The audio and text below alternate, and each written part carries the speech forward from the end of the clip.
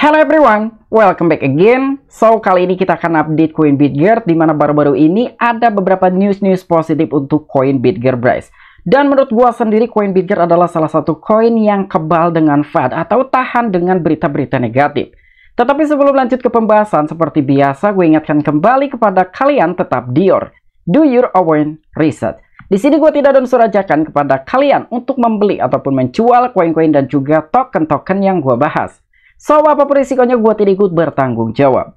Oke, terakhir kali gue update dari koin Bitger ini sekitaran dua hari yang lalu dan pembahasannya sangat panjang sekali. Jadi pertanyaan-pertanyaan yang sering sekali kalian pertanyakan sudah gue bahas di video gue sekitar dua hari yang lalu. Silahkan kalian tonton di sini apabila kalian telah ketinggalan dengan updatean sebelumnya dari koin Bitger Bryce.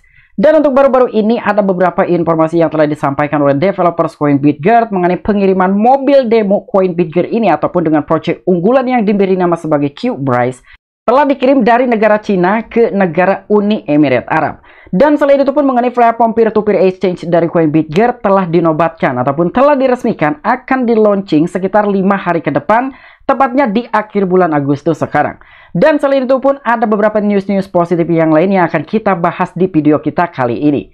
Dan tanpa mengurangi rasa hormat gue untuk teman-teman semua, so di sini gue ucapkan banyak-banyak terima kasih kepada kalian yang selalu support channel ini. Dan yang baru mampir atau yang baru menemukan channel ini, silahkan klik tombol subscribe terlebih dahulu, walaupun gue tidak memaksa kalian untuk subscribe channel ini.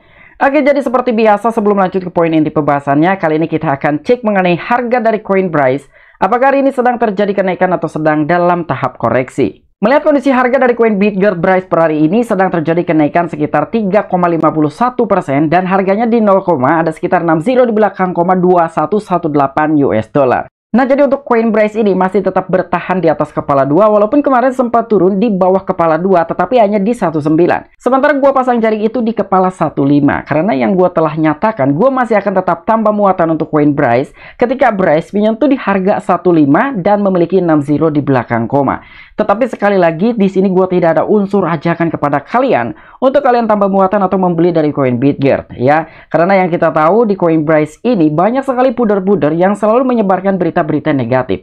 Tetapi dikala orang-orang meragukan dengan suatu aset tersebut dan ketika project tersebut menurut gua sendiri adalah memiliki suatu potensi akan menjadi besar di masa depan, gua masih akan tetap serok dan masih akan tetap gua hold ya. Beginilah yang terjadi untuk koin BitGer Tetapi yang perlu kalian perhatikan walaupun di video gua sebelumnya gua telah menyatakan Bryce masih akan tetap aman dalam lima tahun ke depan karena developers Coinbigger ini telah menyatakan di dalam sesi amak kemarin, Bryce masih memiliki sumber daya yang cukup minimal sampai dengan lima tahun ke depan.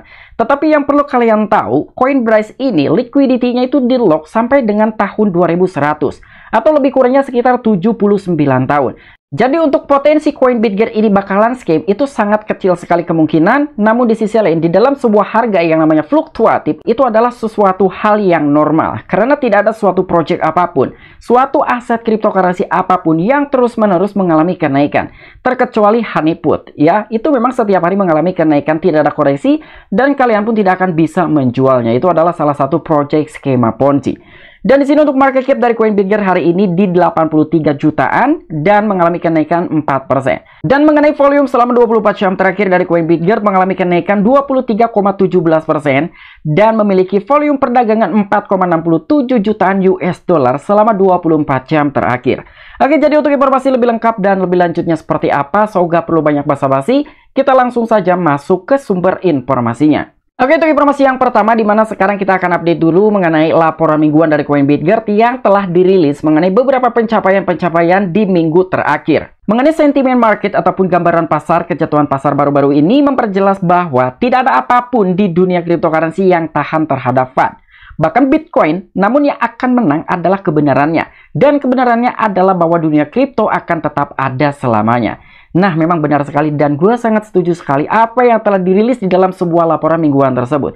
Jadi apa pun asetnya, apa pun proyeknya, tidak ada yang tahan sama sekali dengan serangan ataupun berita-berita negatif untuk suatu proyek tersebut. Sekalipun terhadap Bitcoin, Bitcoin ketika ada sentimen-sentimen negatif itu pun akan berdampak koreksi apalagi dengan sekelas proyek Coinbitgert yang tidak terlalu besar dan bahkan tidak familiar sekali di kalangan investor. Walaupun gue telah membuat judul ataupun thumbnail bahwa Coinbase ini telah kebal terhadap berita-berita negatif ataupun kebal terhadap FUD karena yang gue lihat selama Coinbase selalu ditekan dan juga mendapatkan suatu serangan berita-berita negatif, penyebaran berita-berita negatif, tetapi Coinbase masih tetap berdiri kokoh dan beberapa tim yang ada di balik Coinbit termasuk Deep-nya masih tetap bekerja keras untuk bisa meningkatkan dalam suatu harga dan juga aset tersebut. Jadi lebih kurangnya seperti itu dengan tujuan gue membuat judul bahwa Bryce ini kebal terhadap FUD ataupun kebal terhadap penyebaran berita-berita negatif. Dan Bitcoin berdiri di 26 ribuan dolar dan telah membuat industri ini menjadi bearish. Namun dalam jangka panjang kita semua optimis tentang masa depan industri ini.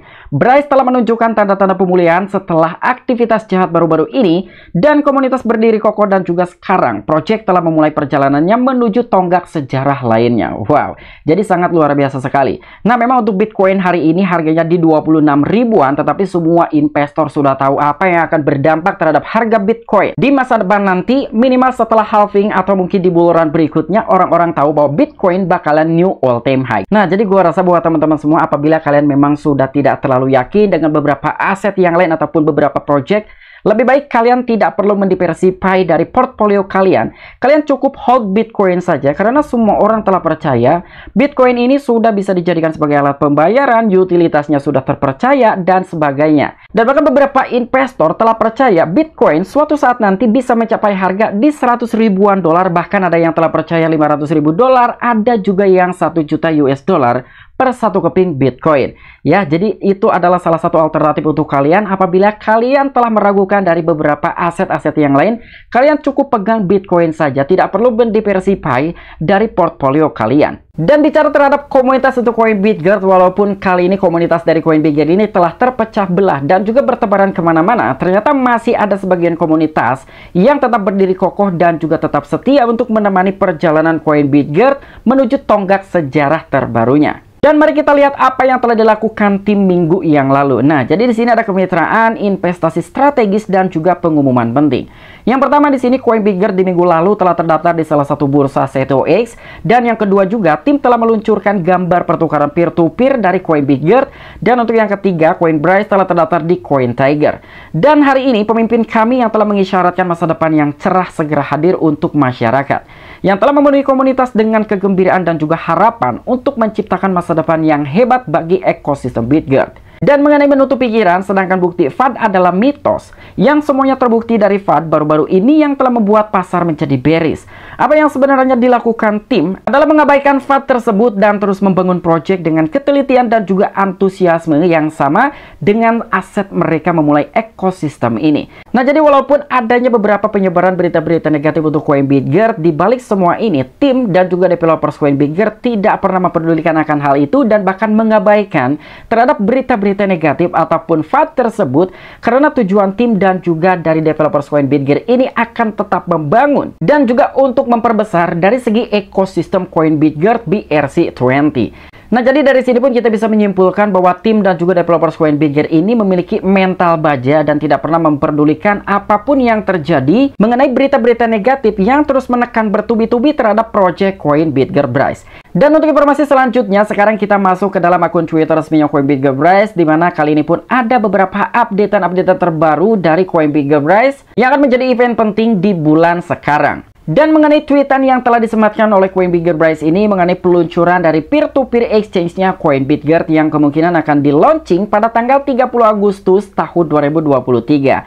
Dan sekitar 4 jam yang lalu ternyata dari exchange peer-to-peer-nya Coinbitger ini telah diumumkan secara resmi bahwa Bryce peer-to-peer -peer exchange 5 days to go live. Jadi sekitar 5 hari ke depan exchange dari peer-to-peernya Coinbigger ini akan diresmikan dirilis. Jadi lebih kurangnya seperti ini ya, karena sudah ada updatean terbarunya. Kita akan menantikan aja kira-kira seperti apa dampak terhadap Coinbigger ketika project unggulan dari peer-to-peer -peer exchange yang sebelumnya telah di-vote oleh beberapa komunitas Coinbigger ini dirilis.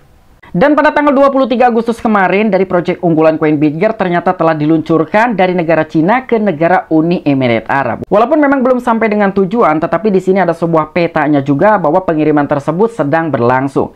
Jadi di sini Qbryce Demo Car is on its way to Uni Emirat Arab. Ya, jadi kalian bisa menyaksikan di sini dikirim dari negara Cina ke negara Uni Emirat Arab. Dan pada tanggal 21 Agustus kemarin, di sini pun ada sebuah informasi lanjutan dari salah satu mitra koin BitGert yaitu PlayingX yang mencoba untuk bagi-bagi giveaway kepada user dan juga army dari koin BitGert. Lebih kurangnya hadiah yang telah ditawarkan itu sekitar 150-an USDT. Dan untuk informasi selanjutnya pada tanggal 20 Agustus yang lalu, ternyata di sini ada suatu pengumuman yang sangat luar biasa sekali mengenai pengintegrasian BitGert versi 20 ke dalam platformnya No Payments.